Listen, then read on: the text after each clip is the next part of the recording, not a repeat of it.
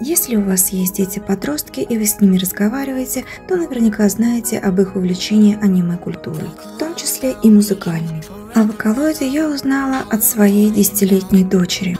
И мне стало интересно, что же это такое. Вокалоид – это программа, синтезирующая певческий голос. Интересный факт. Программное обеспечение для синтеза речи Вокалоид было разработано в Барселонском университете Помпео Фабра совместно с корпорацией Yamaha. В 2004 году появилась первая версия программы на рынке, но большого успеха не было. И тогда представители компании Yamaha прибегли к отличной маркетинговой стратегии – придумать аниме-аватары.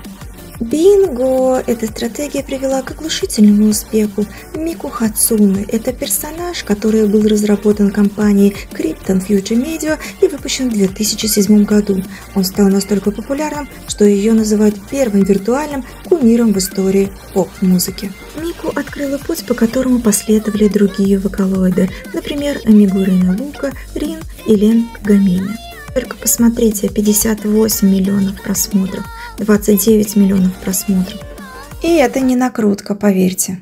И если вы не знали, то известные вокалоиды дают живые концерты. Да-да, я не ошиблась. Пение вокалоидов делится на два типа. Один из них – традиционный живой концерт, когда голограмма, проецируемая на экран, танцует и поет для своих фанатов. Чаще всего слушатели держат в руках светящиеся палочки, танцуют под музыку вместе с виртуальным артистом. А второй тип – это выступление на просторах интернета. Данные говорят о том, что влияние вокалоида и в частности персонажа Нику Хацуны на музыкальную индустрию Японии огромно. Поэтому с уверенностью можно сказать, что сегодня исполненная вокалоида музыка становится новой разновидностью массового искусства. Самое интересное, что вокалоид как инструмент представляет собой нечто иное, качественно большее, чем синтезатор.